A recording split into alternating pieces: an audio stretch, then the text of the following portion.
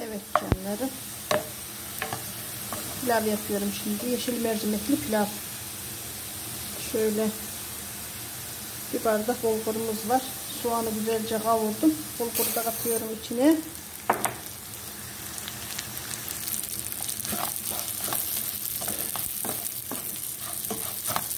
Kavuralım güzelce soğanla bulguru.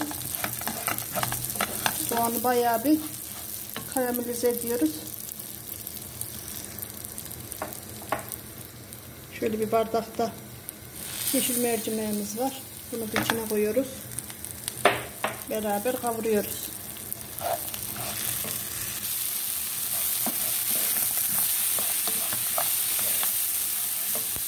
Burada salatamız hazır. Burada da tavuğumuz pişiyor.